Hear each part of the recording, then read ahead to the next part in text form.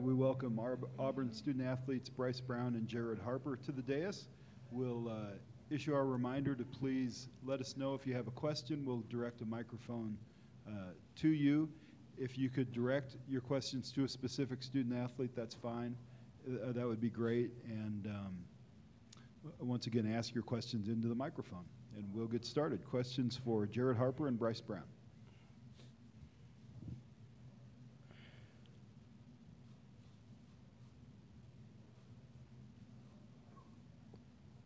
Guys, first off, what do you think of New Mexico State, the depth?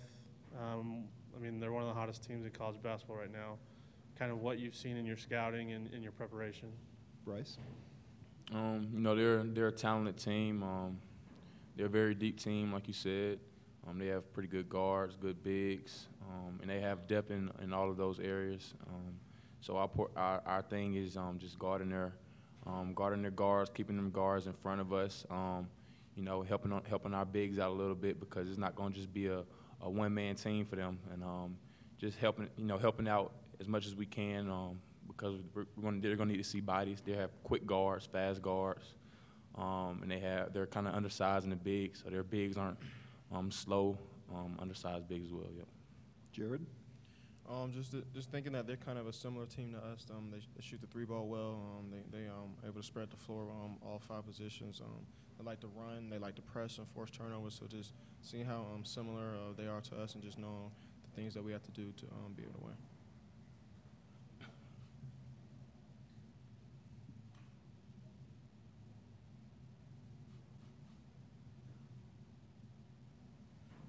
Hi, it's Eddie Pells from AP. I- I'd ask both of you, how did you um, end up at Auburn? What were your other choices? What was the thing that kind of put you over the top to go to Auburn?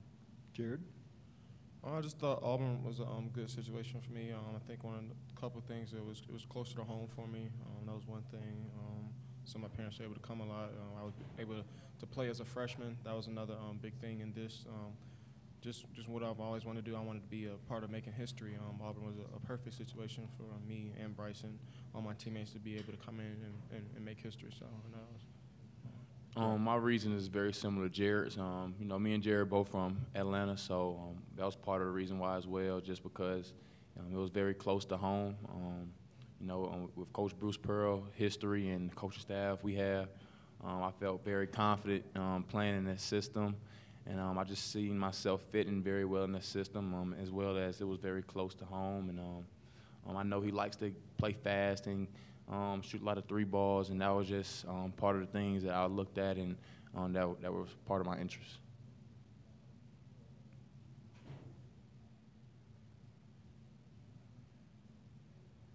A lot of the media people making picks have said that New Mexico State might be an upset with the 12-5. I mean, it's kind of a, a regular thing in the in the NCAA tournament. Do you guys pay attention to that, and what's kind of your thoughts on that? Bryce? Um, we, we try not to pay too much attention to it, but I mean, it's it's one of the biggest parts of the year, March Madness. And um, you know, it's not anything we don't see. We definitely see it. And um, you know, it's nothing new to us. We've been doubted. I've been doubted since I don't know how long, like before high school, middle school, high school. So I mean, it's nothing new to me. I'm always um, been the type of person that wanted to beat the odds, and um, and um, I've, I've pretty much feel like I've been able to um, do that. Um, um, so I mean, it's nothing new to us. Me and Jared used to being um, the, the underdogs, and um, it, like I said, it's nothing new. Jared? Um, I just I guess it's another th- not that we pay too much attention to. Just just another motivation for us this year. Um, we're playing our, our, our best basketball this time of the year, so um, we're not not really thinking too much of what other people are saying. It's just what goes on in our locker room. That's that's our main focus, and doing what we need to do to uh, fulfill our goals.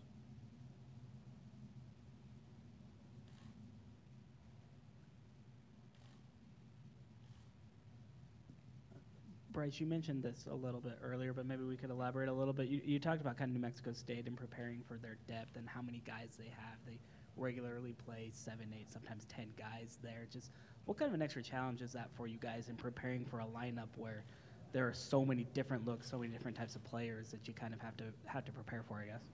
Yeah, it's um, a very different scouting report, one that um, we probably haven't seen all year. Um, you know, people in the SEC, and when you get around this time of the season, you know, coaches um, shrink their rotations, and um, you know, one thing about us is we don't do it, and that's what makes them kind of similar to us. Um, they don't, they didn't shrink their rotation as well, so they have about 13 or 14 guys that play, and all of them are, um, are capable of, of going off at any moment in the game. And um, that's why you know we have to just play cl- close, close attention to our scouting report because you know they, they shoot the ball well, and um, like I said, um, you know it's not a single person we have to focus in on.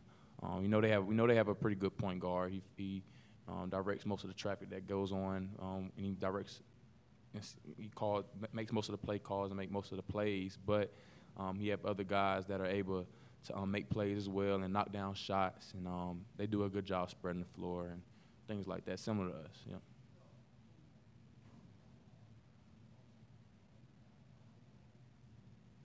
More questions? Okay, we'll dismiss the student athletes and we'll welcome coach in just a moment.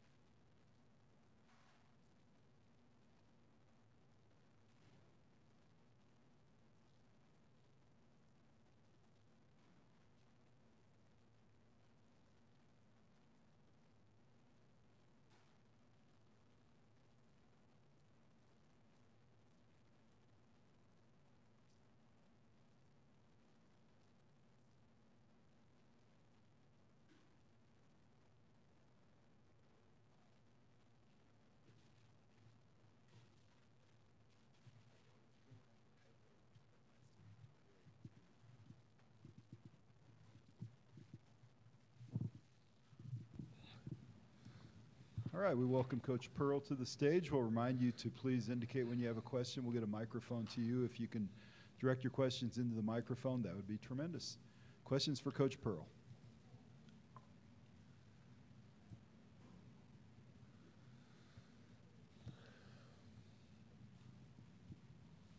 Hey, Coach. Uh, Eddie Pells from AP. Just kick it off with what, what you spent a couple years out of basketball. I think we all know about that. How tough was that for you? And, and did you have doubt that you would ever not only just get back to coaching, but get back to here? You know, I, I started coaching in, uh, in 1982. And what year is it now? 2019? And like I was, I was only out of coaching for three years. So I've basically been coaching my whole life. Um, and so you're going to ask me a question about the three years that I wasn't coaching? I'm 58 years old two days ago, you know? So I want to talk about coaching. Uh, it's, uh, I love Auburn. I love the SEC. Um, I'm so proud of the SEC. 15 teams have made the uh, NCAA tournament the last two years out of, uh, out of the SEC. That's a lot of progress, you know, for our league.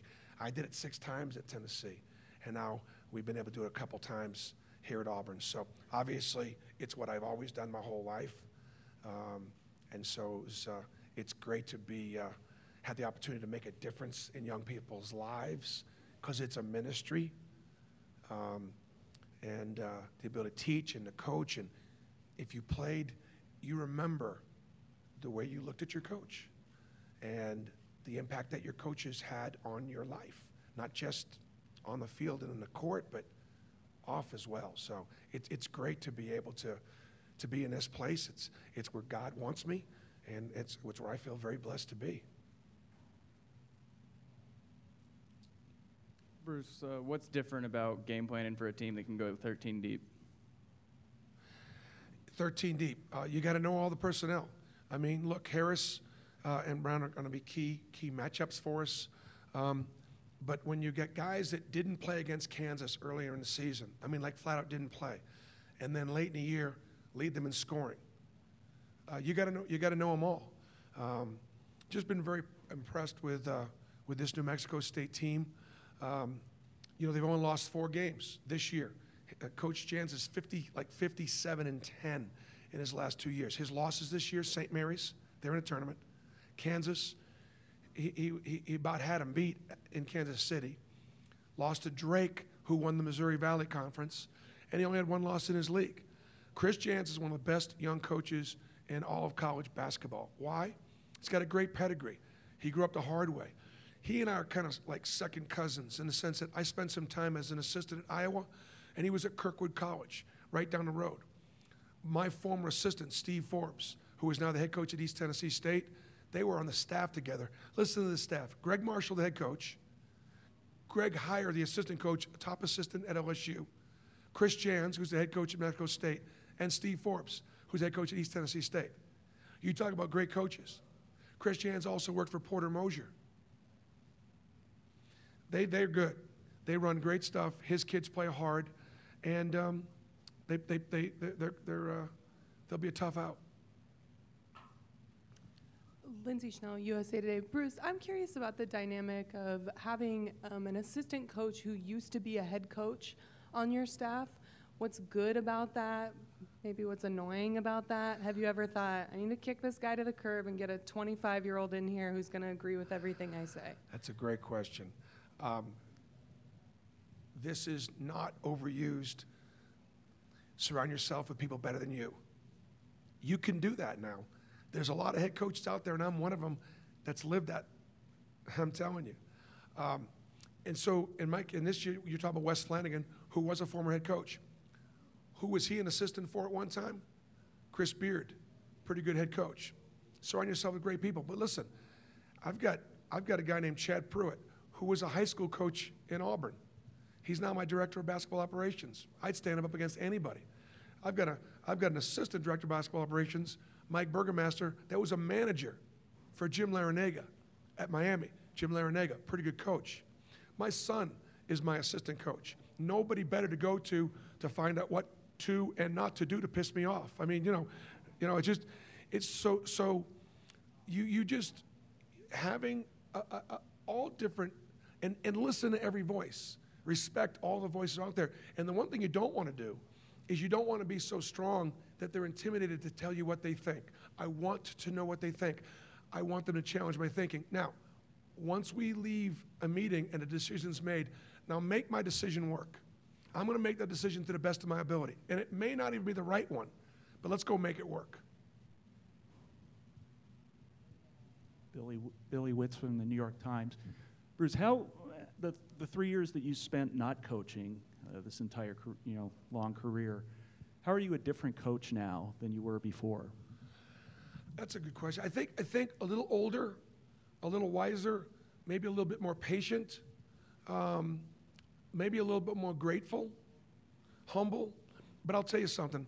When I was out of coaching for a few years, I had a lot of bills to pay still, and so my daughter Leah told me something that I'll never forget.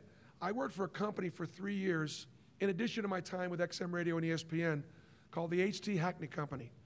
We were a wholesale distributor. We put stuff in convenience stores. That was my new family. And Leah told me that she had never been prouder of her father because I treated that job like it was my last, like it was my own. In other words, my job as a coach may be, may be a little bit more public and visible, but I had to take care of my family. I, I jumped into that job as, as a vice president. I worked seven days a week as hard as I possibly, I grinded, just like I had to do in coaching. So you do what you got to do to take care of your family. And so if I gained my little girl's respect because I was no longer coaching, but I was putting candy in a, in a convenience store, I'd be okay. Bruce, how have you guys adjusted to the altitude, and will it change the way you coach the game tomorrow? Well, we got out here yesterday, so we had a pretty good hard practice yesterday. Got some run, got the dizziness, dizziness out of the kids, let them kind of feel. It's the first burn. It won't be the second or third, but the first time you get winded, you're like, wow, this is different. After that, you're kind of adjusted to it. There are some things that you can snack on, some drinks you can have that can help alleviate that. There will be oxy- oxygen on the bench, most likely from me, not the players. Okay, I'll have oxygen there. My athletic director, Allen Greene, wanted to make sure that I had, he wanted to make sure I had oxygen on the bench because he, he's seen me get elevated a time or two.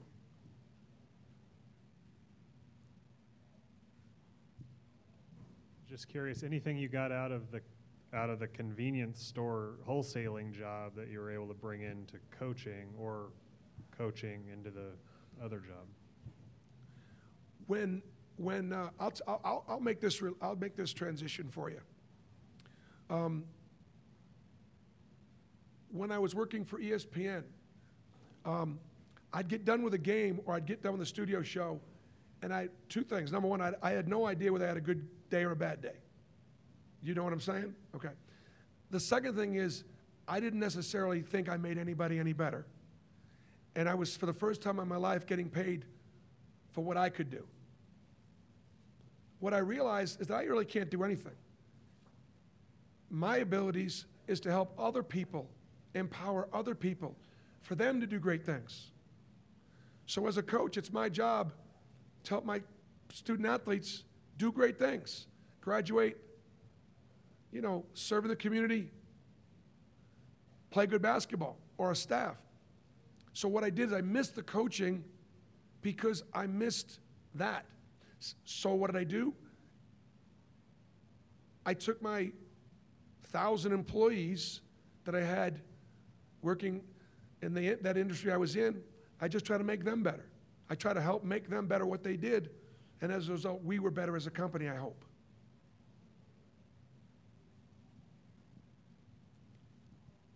Bruce, uh, the narrative around this, well, one of the narratives around this team is you know, all you guys do is shoot threes. You guys shoot too many threes, but I mean, obviously it works. What do you, what do you, when you hear that, what do you think? It's, it's like when you listen to color guys and they say, press a pressing team. I hear that and I go, you don't know what you're talking about. Uh, Please press me. I love to be pressed. We press. Uh, You live by the three, you die by the three. That's a good one, right? That makes a lot of sense. How about this one that Hayden Fry said years ago as a football coach at Iowa? Scratch where it itches. Do what you do. If I've got five guys out there that can't shoot the three ball, do you think I'm going to have them shoot the three ball? Not for very long. We'll put four or five guys on the floor that can shoot it. What's most important is that I give them the confidence to shoot it. And then when they take a bad shot, I blame the other four guys for not getting the offensive rebound, bailing them out. Um, as long as that thing is going to be worth more than the two, and it's an open shot, most three balls, you don't get much contact. Every other shot on the court, with exception of a free throw, you're getting hit. If you can't make an open shot, it's hard to play the game. So, yeah, occasionally we shoot it early or take a bad shot or next play. Just get to the next play. Uh, we spent a lot of time working on it. I, my, the, the, the best play in basketball, the best play in basketball is the, is the three point shot, the inside three point shot, and one. The second best play in basketball is outside that three point line.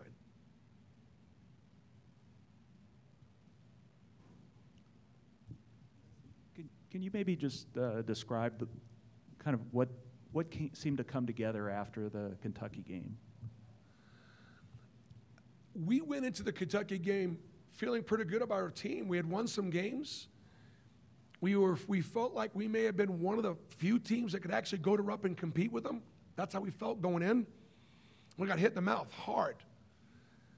Kentucky played great, and you could see a difference lining up against them. And our guys saw a difference. And the, the, the, so then what do you do about it? Because it is what it is.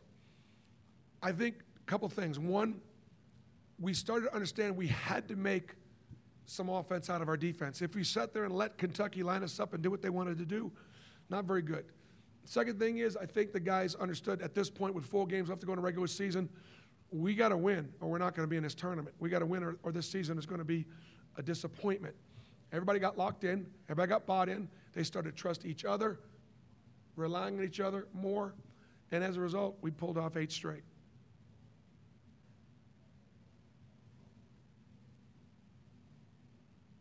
Bruce, one more career question. Do you have any memories of being involved in Utah State's coaching search 20 years ago?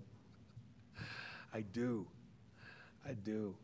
I was actually on vacation down in Des- Grayton Beach, Florida. And uh, man, I was excited about that possibility. Uh, I think I was a Division II coach at the time at Southern Indiana. Um, I did not get very far in the process because they hired a guy named Stew Morrill. And it was one of the best hires in, uh, in college basketball because obviously Stew, Stew went there and did a phenomenal job. He's a way better coach than I've ever been or will be. And, uh, but I do, I remembered, uh, I remembered being excited about that possibility. Time for two more questions.